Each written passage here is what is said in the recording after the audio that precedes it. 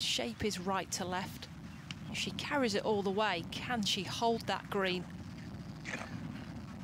No, has decided to play sensibly short, stun it into the bank. That was for Eagle, by the way. That takes her to 11 under par. And another Lexi Bir birdie. I mean, it's becoming routine now. I mean, got the feeling she sees nothing but the flag here at this par 3 8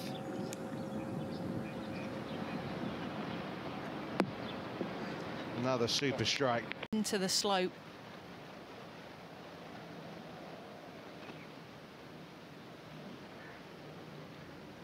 Well, she says she's been working, what, two to three hours a day on per putting practice. You can see it's reaping rewards. That was only a roll away. Do you want to know, though, Richard. Of course, Pedersen from the wrong level here at eight. Fantastic putt. Fantastic putt. What a...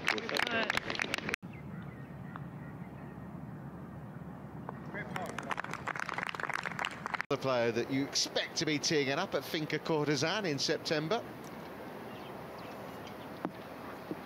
Come back.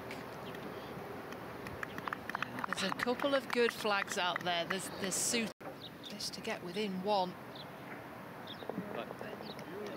Only ever wanted to be a professional golfer.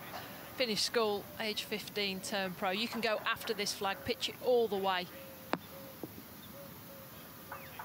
Tell you what, she does look so, so dangerous. She's got the bit between her teeth here, Lexi Thompson there. Yeah, suddenly this is to take the lead on her own.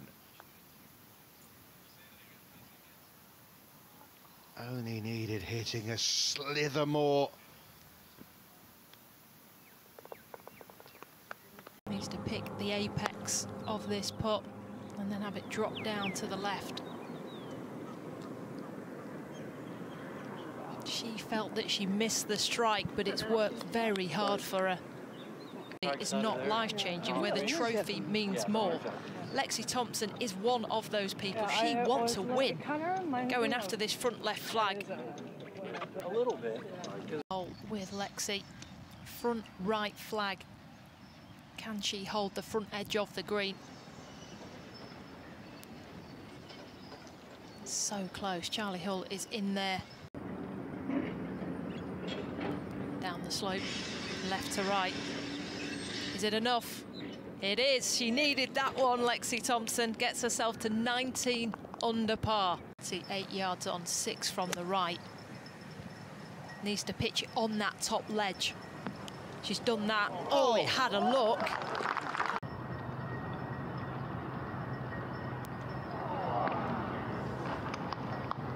And that is that as far as Lexi Thompson's outside hopes of winning were concerned. It was some run at it, though. She's played her part in what's been such an enjoyable final round.